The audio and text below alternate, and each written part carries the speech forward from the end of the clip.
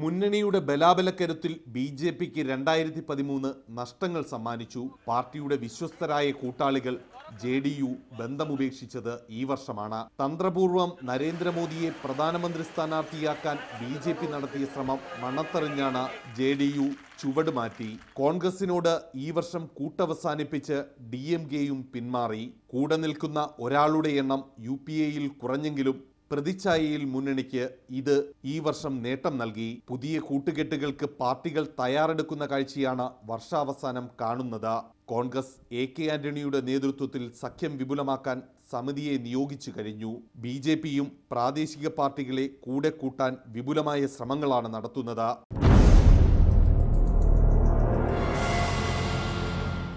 രാഷ്ട്രീയത്തിനുപരി സാമൂഹിക മേഖലയിൽ വലിയ ചലനങ്ങൾക്കാണ് രണ്ടായിരത്തി പതിമൂന്നിൽ രാജ്യം സാക്ഷ്യം വഹിച്ചത്.